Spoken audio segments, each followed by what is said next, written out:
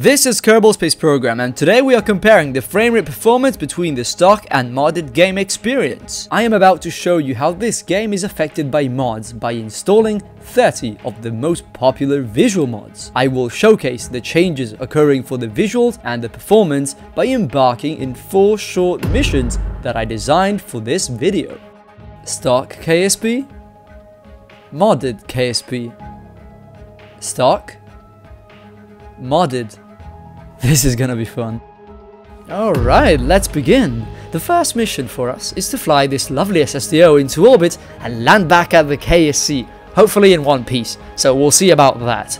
But the first thing I want you to look at, the first thing I want you to notice is that there's a little window, an overlay at the top left, and that is showing us the performance of the game. And it's a window you get with the Radeon graphics uh, software if you have a Radeon GPU like me, it's giving us an indication indicator of the frame rate frames per second. And there's a big difference. So when I'm flying modded right now I get mo mostly 60 frames per second. And when flying stock I get usually more than 100 even 160 so there's a big difference. There's a big performance sacrifice happening. However I just want to emphasize how bad KSP stock looks.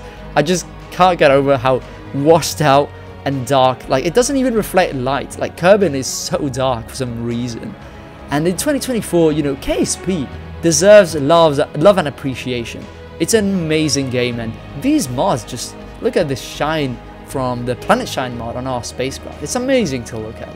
Yes, you get less frames, but honestly, this game just deserves to look better. It deserves to look so so much more realistic and cinematic for our enjoyment, I think.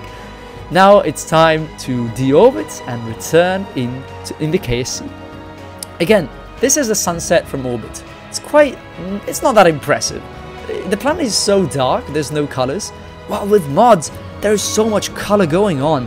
Reflections and sun flares and the shiny bits on our space plane are amazing to look at.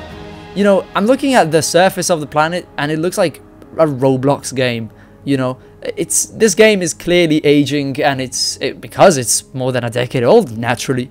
But with mods, you have the climate, the weather, and the clouds and the storms, and it really feels like an alive planet that you can experience yourself.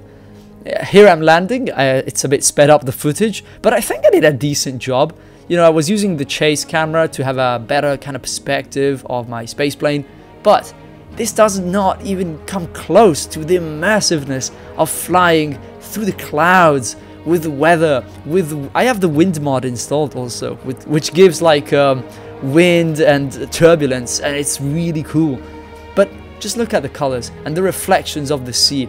It's so much realistic.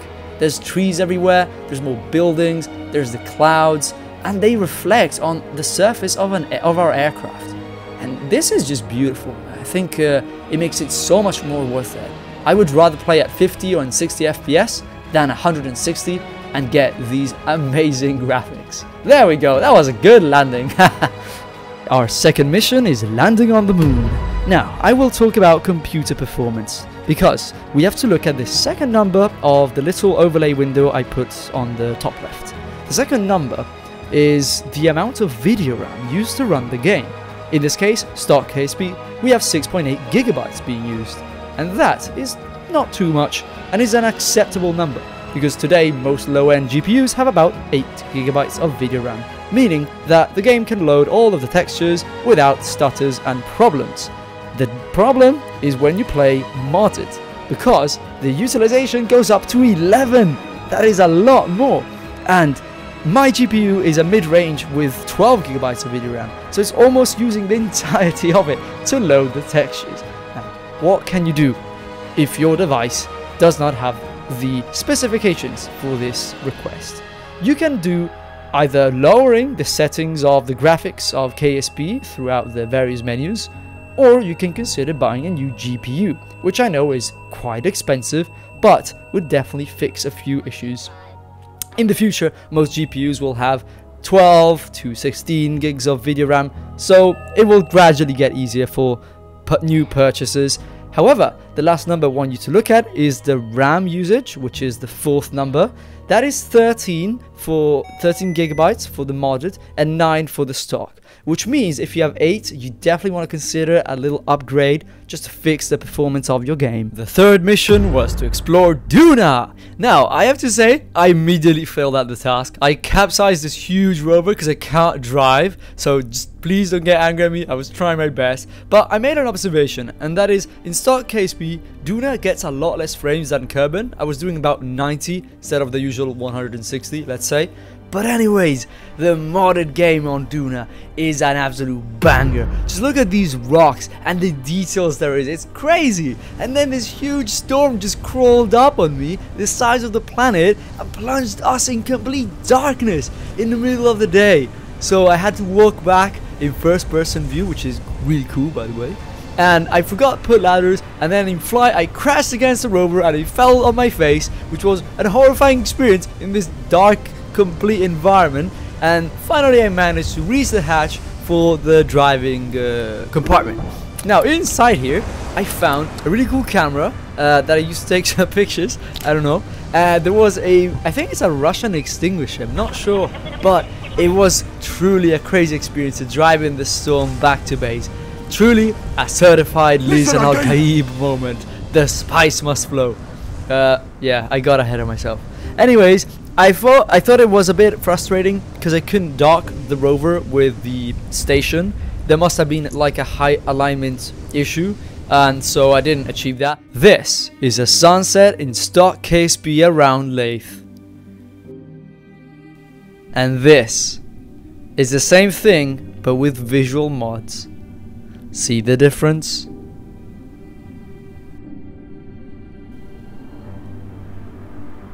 It baffles me how this game has come from looking like this into this as of 2024. And it's only thanks to the rich community of modders that in their free time they just decided to come up with these crazy things.